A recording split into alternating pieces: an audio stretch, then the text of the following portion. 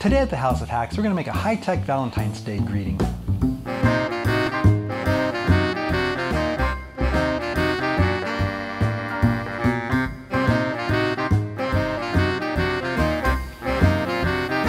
Hi makers, builders, and do-it-yourselfers, Harley here. I recently ran across a new to me programming channel whose name I won't even begin to try to pronounce, but I will link to in the cards and description below.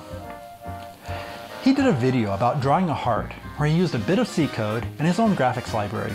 I want to take his idea, expand a bit on why it works, and show how to use the processing programming environment to do the same thing. First, let's look at generating shapes. Many people get overwhelmed by the thought of trigonometry with its sine and cosine, angles, and other related things. But at its core, it's really pretty simple. Remember the old Cartesian graph from math class? It had an x-axis and a y-axis, and points could be located on this graph using just two coordinates. On this graph, let's draw a circle, with its center at the origin, with a radius of 1. Now, let's imagine a line starting at the origin and going through the circle. We can draw this line at any angle from the x-axis. If it's on the axis, it will be 0 degrees. Regardless of where we draw it, it's going to intersect the circle at only one place. That one place will have an x and y coordinate that by definition is the value of the cosine and sine functions at that angle. So for 0 degrees, the place where the circle intersects the x-axis cosine will be 1 and sine will be 0. As the angle increases, the x value decreases and the y value increases until we get to 90 degrees. This lies on the y-axis where cosine is 0 and sine is 1. As the angle continues to increase, the x and y values continue to change, always between 0 and 1, always on the circle. And that's the fundamental theory behind trigonometry. Everything else is derived from this. Now, let's plot these points a bit differently. On the x-axis, let's plot the angle, and on the y-axis, let's plot the value of sine, remembering that sine is the y value on our original circle. At 0 degrees, sine is 0, so we start at the origin. As the angle increases, sine increases until we get to 90 degrees and reach 1. Then it starts decreasing as we move into the second quadrant of the circle. At 180 degrees, sine is back to 0.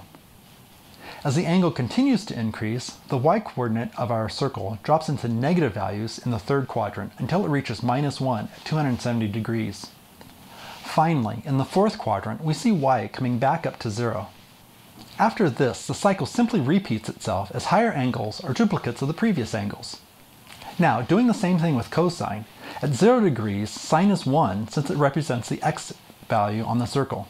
As the angle increases, x decreases to 0 at 90 degrees, minus 1 at 180, back up to 0 at 270, and finally 1 at 360 degrees, the place we started.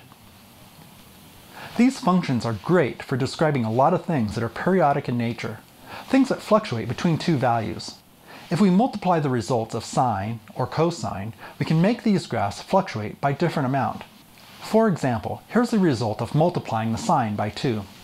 And if we multiply the angle by a value, the frequency of the fluctuation will increase or decrease. Here's what it looks like if we multiply the angle by 2. Things can get really wild if we start adding these two curves together, or subtracting them, or multiplying them, or doing anything else really. Sines and cosines are the basis for a lot of things in our modern world. Today we're going to see how they can be used to send a message to our sweetheart. Processing is a programming environment that was developed about 15 years ago and designed to teach the basics of programming within a visual context. Since it was designed with a visual context in mind, it's great for experimenting with graphics and drawing things. The Processing.org website has free installers for Windows, Linux, and Macs. Just download the installer and run it. This gives us a processing environment that once started, we can start writing programs in. Let's look at a simple program to draw a circle. We first define the size of our canvas, the color of our background, and the color we want to draw in. Then we're going to define a variable to scale our circle by and an offset for the x and y coordinates. These are needed because sine and cosine return values around the Cartesian origin, but the coordinate system of the processing screen is based with 0, 0 in the upper left corner of the canvas. Then we're going to define a loop from 0 to twice pi, going in small increments. We use twice pi here because in computers, cosine and sine typically use what are called radians instead of degrees as their inputs. This is just fine though because there's a one-to-one -one mapping between degrees and radians, where pi is 180 degrees and 2 pi is 360 degrees. Inside the loop, we set x to the cosine value of the loop variable and y to the sine value of the loop variable. Then we're simply going to plot that point, offset and scaled by the previous previously defined values. Let's save our work at this point. When we press the arrow button in the top toolbar, our program runs and we get this nice circle. Now that we have the basics of creating a circle, how does this help us with our Valentine Day project? A web search for heart drawing formula leads us to the Wolfram site that has a number of different formulas for drawing a heart shape. The sixth one in particular lends itself well to the program we have for drawing a circle. All we have to do is change the assignments to x and y to get something that looks like a heart. One of the cool things about the processing environment is it works well for animating things. If we put the statements before the loop in a function called setup, they will get called one time when we run our program. Then, if we put the loop inside a method called draw, it will get continually called over and over again. But because we're drawing the same thing over and over, it's not going to be too terribly exciting. So before running this, let's add a line to change the scaling each time the draw method is called, and adjust a control parameter to keep the scale between a couple values. Finally, move the background call from setup into draw so it happens every time draw is called. This will clear our canvas each time. Now let's run this. Ah, a nice beating heart. This is cool and all, but it's hard to show our special someone. By adding a line to the end of our draw method, we can tell processing to save our drawing to a file. Now, let's run this for a little bit, stop it, and go look at where we saved our program. We can see a bunch of individual snapshots of each frame of our animation. In one last step, we can go to Processing's Tools menu and select Movie Maker. It gives us a dialog where we can select the directory containing the shots of our animations and press the Create Movie button. This compiles our individual images into an MOV file that we can email to our intended.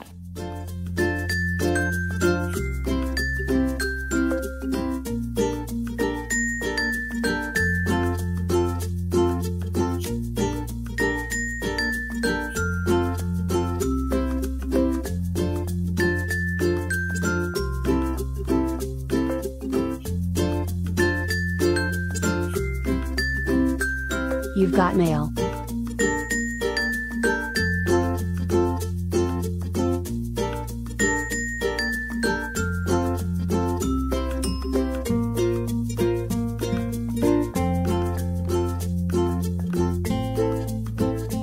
If this is your first time here at House of Hacks, welcome. I'm glad you're here and would love to have you subscribe. I believe everyone has a God-given creative spark. Sometimes this manifests through making things with a mechanical and technical bent. Through this channel, I hope to inspire, educate, and encourage these types of makers in their creative endeavors. Usually, this involves various physical media like wood, metal, electronics, photography, but sometimes other things like programming. If this sounds interesting to you, go ahead and subscribe and I'll see you again in the next video.